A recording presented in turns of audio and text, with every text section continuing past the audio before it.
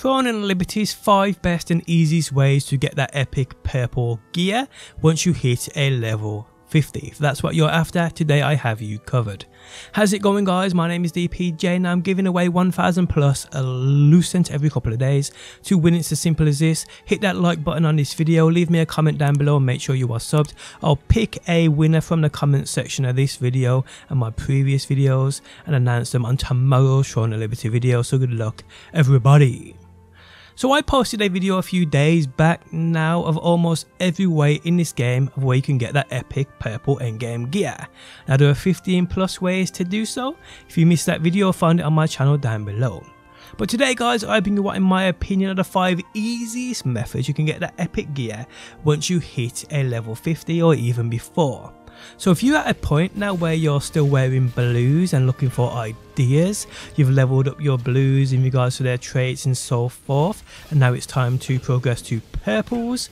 Uh, once you hit a level 50, there's a few ways you can actually get easy gear, and that's what I bring you guys today. So this is pre-level 50 dungeon runs. Yes, you can get some great loot from those level 50 dungeons, but you're probably at a point in your progression now where you need those purple epics to just give you that extra bit of power and defense so you can actually hold your own in those level 50 dungeons. So yes, although you can get epic gear from level 50 dungeons, level 50 dungeons is not on my list of easy ways to achieve epic gear. So if you're at a point now where you don't know what to do next, today's video guide will give you 5 easy epics. Some guaranteed, uh, and these are like I said the stepping stone from blues to bring you up to par in that next line of progression before you start to farm for that S tier gear. So let's go.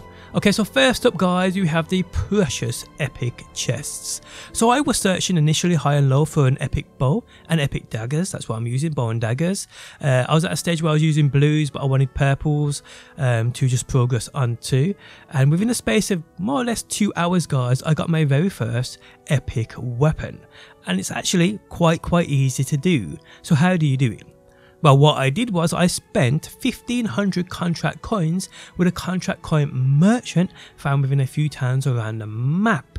In his inventory, if you scroll to the very bottom, you'll see a precious epic chest, which rewards you a choice of the containing epic items. So yes, if you purchase this, you can pick a weapon of your choice. But like I said, it costs 1500 contract coins, which does seem like a rough time, but actually really is not.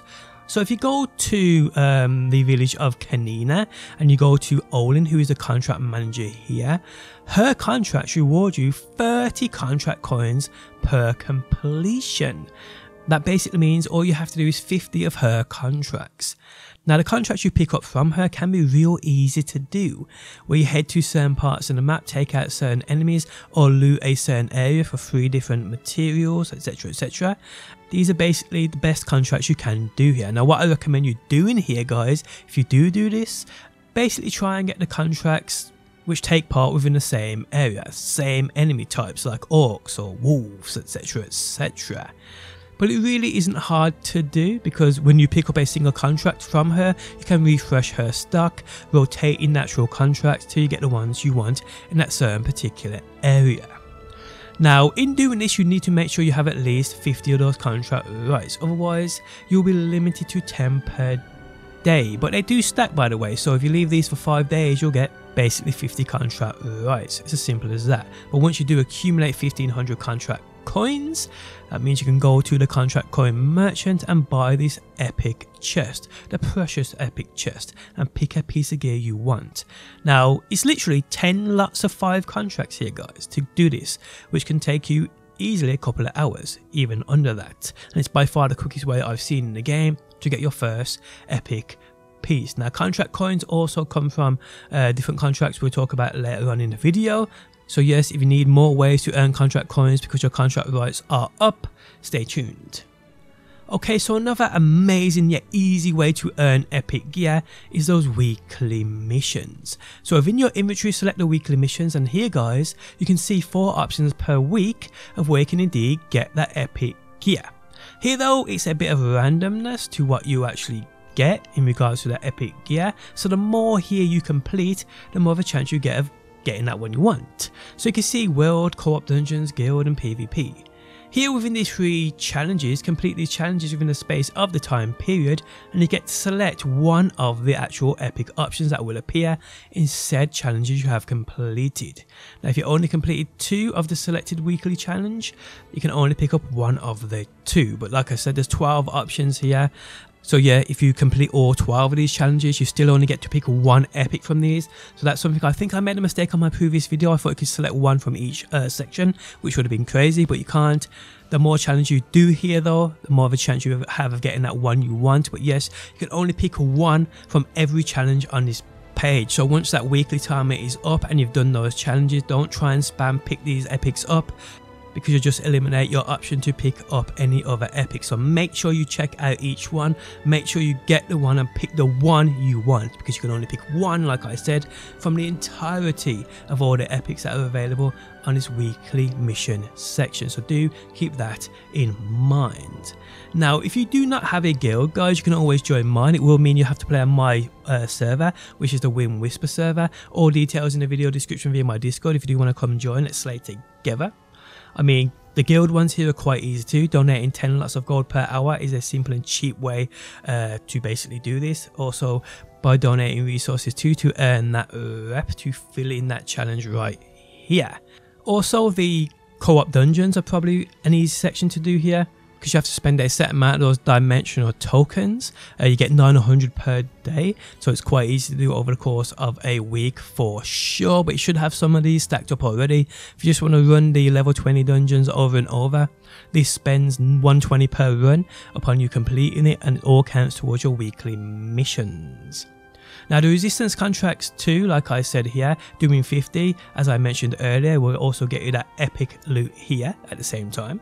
Or the mystic portals, 25 in total, so purchase the mystic keys from the contract coin merchant. That's basically 5 per day over the course of 5 days and you'll get this done find and locate those red fiery uh, balls around the map. They do appear on your map when you get close to them.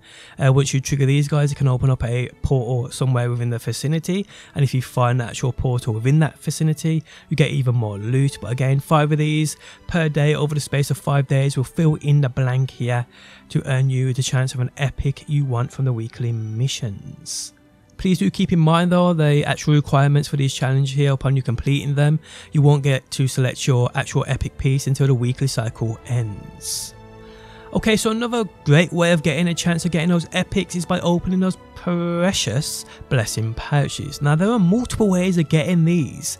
And although it's only a chance upon you opening these to get an epic, I mean I've opened quite a few now and I've got quite a few epics from them, but because they're so easy to actually get I thought I'd definitely worth mentioning in this video. So the first way you can get these from the shop, from the ornate coins section. Now ornate coins you get via finding those purple pages in and around the map and you also get them every couple of days via the mail. So you shouldn't be running out of these. Now the precious blessing pouches from the ornate coin shop you are limited to 15 per month and they do cost 45 ornate coins each. They can also use your contract coins which you get for completing those resistance contracts. Use these with a contract coin merchant. They cost 200 and limited to one per day. Is a little steep, but hey, it is what it is. You can also get these guys from the Allied Resistance Forces contracts too. Now these contracts uh, require you to enter one of the open world dungeons to be completed, but are never really much of a problem.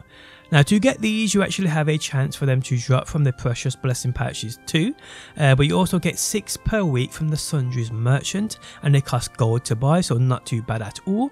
Uh, so you buy 6 actual lots of these. So when you buy the 6 you open one and you get 4 of these allied resistance forces contracts. So buying all 6 per week will mean 6 times 4 which is 24 of these allied resistance forces contracts um, that you'll be able to complete per week. Each one will reward you one of these patches. So that's pretty cool too. But for these guys, you also get the contract coins currency we mentioned earlier, which you can then use to buy the uh, precious epic chests. So yeah, keep that in mind too.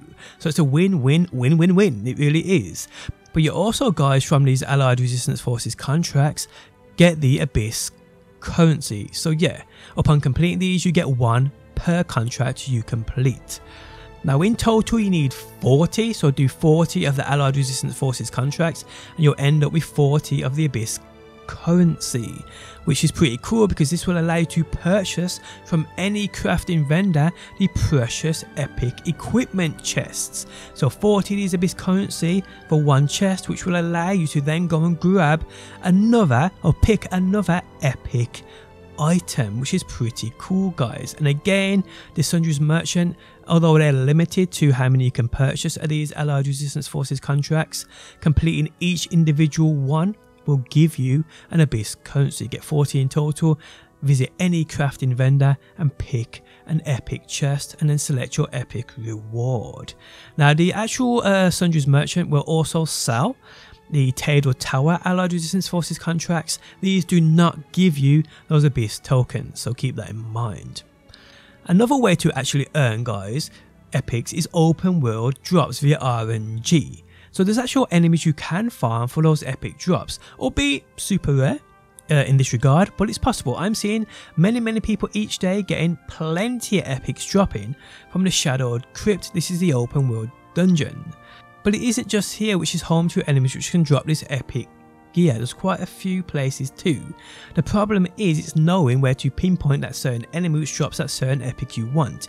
You need to have a list of the epics which you can go through to decide which one you want. Now the lithograph is okay for this. Uh, to do this guys select an item that you want, uh, press the button of seeing all menus and select the obtained from option here and it will bring up a list of enemies or an enemy that drops that certain gear piece. Now another way to see the items and where they drop is from the auction house because it shows almost all of them even if none are up for sale. Simply go to the auction house, select the category you want. If the item isn't highlighted, scroll down until you find it, select up on it and press the item to show info and check where it's obtained from. I mean, most of these are going to be dropping from specific enemies during specific events and so forth. Uh, but they actually still drop. Isn't too hard whatsoever. I myself have actually had about 10 epics dropping from certain enemies now, so they're definitely not as uncommon as you think. Now there is another way to earn quite easy uh, epic items and it's via using arena coins. So via the arena that you unlock at a level 50, this is a 3v3 PvP activity. Going into this guys and winning games you'll actually earn arena coins.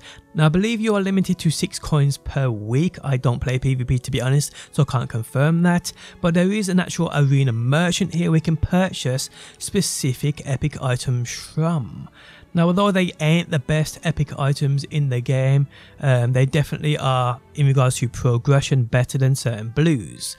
But yes, the actual arena merchant can be used to actually purchase these epic items. They cost 9 per one, which again will take you over a week to claim these. But at the end of the day guys, if you're struggling for ideas in regards to epics, this is another easy way to do these. So enter the 3v3 arena activities, make sure you are winning, claim those actual arena coins, and then you are good to spend these how you want. And there we have it guys, easy ways to earn purple gear once you reach a level 50 and well I hope the video helped you out. If you did leave a like really helps me out, if you like what you see and want to see more be sure to subscribe and hopefully guys I will see you on that next one.